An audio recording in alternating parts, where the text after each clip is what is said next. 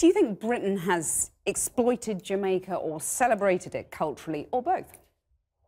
That's um, that question's kind of ridiculous to me. I mean, Jamaica's been constantly exploited by England. Um, you know, a lot of the institutions in this country have been funded by the profits made from the slave trade. So the whole conversation about culture, it goes way beyond that. Well, when does cultural, I mean, Fiona, Fiona Compton, when does appreciation become appropriation? Where, do you, where does that line blur? Um, I think it, it, it becomes appropriation when someone takes a culture that's not theirs without having full understanding, knowledge, or appreciating where it comes from. Is it about acknowledgement or is it about money? the end of I the think it's both. Because at the end of the day, we everyone loves Jamaican culture and I, I would say Caribbean culture on a whole, right? But at the end of the day, are we really benefiting from all of this appreciation? Well, how, Don how do you make sure that Jamaica does benefit? That's difficult.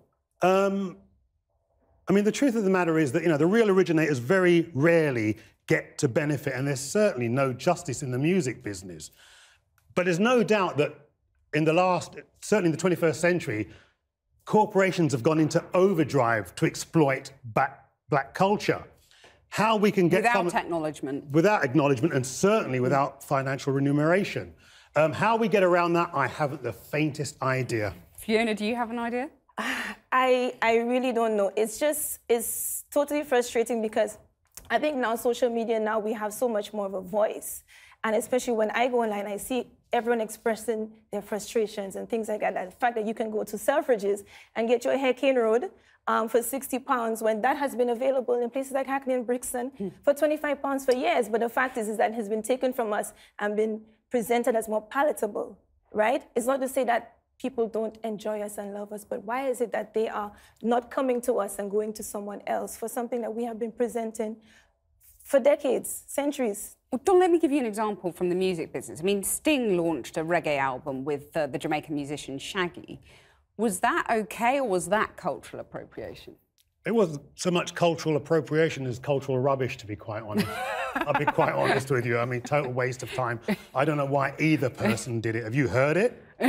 well, no, no, I can't say I have. I mean. I heard the single and I couldn't believe, oh my God, there's a whole album as well. I mean, you know.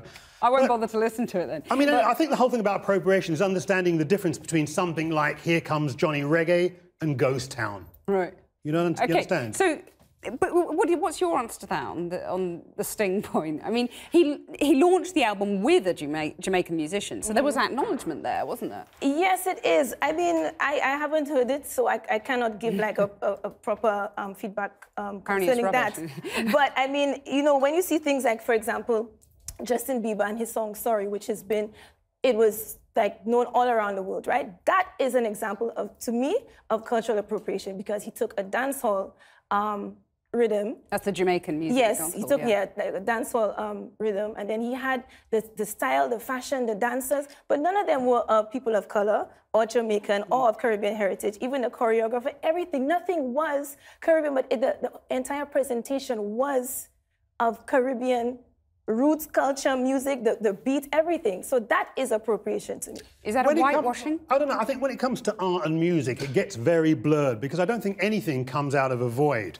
And as far as I understand it in my life, you know, culture's been used to kind of um, turn each other on and communicate with people and kind of push things forward. Um, you know, I think it's down to the individual to decide whether something is taking inspiration or it's straight up exploitation. Well, here's, a, here's an example from the last couple of days. I mean, there's been a lot of accusations of cultural appropriation fly around here and there. So there was an American 18-year-old who dressed up in a prom dress. Here's a picture of her this was a Chinese outfit. There was outrage on social media. Was that justified, or was she just an 18-year-old wearing a Chinese-themed That's dress? ridiculous, man. I mean, is anybody giving Beyonce grief for having blonde, straight hair?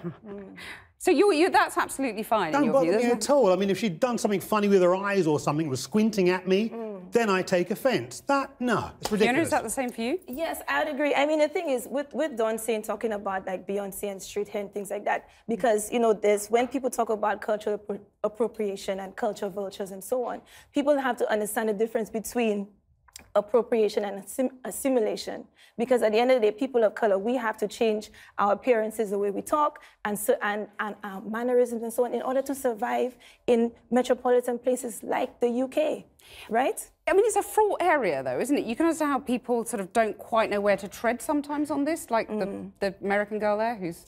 I just feel it's, I just I just feel it's, if you're going to take something of a culture that is not yours, you need to at least take time to Understand it, understand respect. it and respect the roots of where it comes from. Because the, the the frustration with cultural appropriation when it comes to West Indians like us is a lot of the things that have been appropriated are things that stem from oppression that has been brought onto us by um, Britain. If you look at the roots of reggae, if you look at the roots of carnival and dirty mas and all of these things, these come from um, are birthed from oppression. They are rebellions, revolutions.